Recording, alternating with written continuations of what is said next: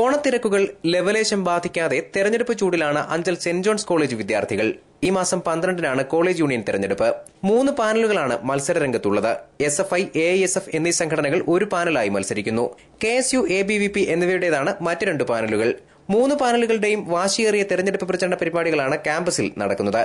വിവിധ വിദ്യാർത്ഥി സംഘടനകളുടെ കൊടിതോരണങ്ങളും ബോർഡുകളും കൊണ്ട് അലങ്കൃതമായ കലാലയത്തിന്റെ നടവഴികളിൽ സ്ഥാനാർത്ഥികൾ പരമാവധി വിദ്യാർത്ഥികളോട് വോട്ട് അഭ്യർത്ഥിക്കുന്ന തിരക്കിലാണ്.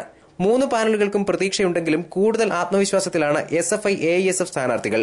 സോളാർ വിഷയവും വിലക്കയറ്റവുമെല്ലാം കോളേജ് യൂണിയൻ തെരഞ്ഞെടുപ്പിലും S F I A S F പാനലിന് അനുകൂലമാവുമെന്നാണ് പ്രവർത്തകരുടെ പ്രതീക്ഷ. തെരഞ്ഞെടുപ്പിൽ ഇടതു പാനലിന്റെ വിജയം സുനിശ്ചിതമാണെന്ന് S F I A S F മുന്നണിയുടെ പാനലിനെ നയിക്കുന്ന ചെയർമാൻ സ്ഥാനാർത്ഥി നിതിൻ ആർ ലൈവ് വാർത്തയോട് പറഞ്ഞു. ഈ സമകാലീയ രാഷ്ട്രീയത്തിലുള്ള പ്രബുദ്ധരായ വിദ്യാർത്ഥികളുടെ വിധിയെഴുത്ത് എല്ലാ വർഗശക്തികൾക്കെതിരെയും എല്ലാ ധ്വംസശക്തികൾക്കെതിരെയുമുള്ള വിധിയെഴുത്തായിരിക്കും. വർഷങ്ങളോളം കെ എസ് യു നേതൃത്വം നൽകിയ കോളേജിൽ കഴിഞ്ഞ ഏതാനും വർഷങ്ങളായാണ് ഇടതുപക്ഷ വിദ്യാർത്ഥി സംഘടനകൾക്ക് അനുകൂലമായ ചിത്രം രൂപപ്പെട്ടു തുടങ്ങിയത്. കഴിഞ്ഞ വർഷങ്ങളിലെ സാഹചര്യം പരമാവധി നിലനിർത്താനുള്ള ശ്രമത്തിലാണ് S F I A S F കൂട്ടുകെട്ട്. എന്നാൽ പോയകാല പ്രതാപം തിരിച്ചുപിടിക്കാനുള്ള ശ്രമങ്ങളിൽ കെ എസ് യുവും പിന്നിലല്ല.